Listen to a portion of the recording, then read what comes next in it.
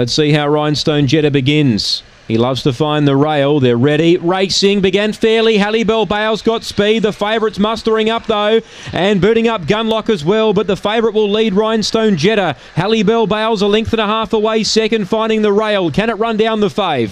Third, Maggie's Empire. Then Gunlock.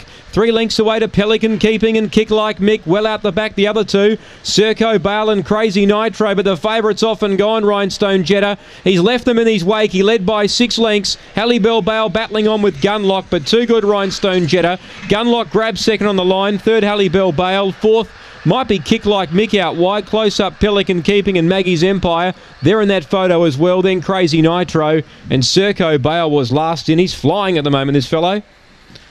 Rhinestone Jetta. And we stand by for a time. There's a problem here with the time on the board, so stand by. We'll just uh, confirm if that time is correct in the semaphore board in a moment. Rhinestone Jetta. Well, he wasn't the best served, but he got a clear run and he was able to muster up and he was able to find the rail ahead of Hallibell Bale.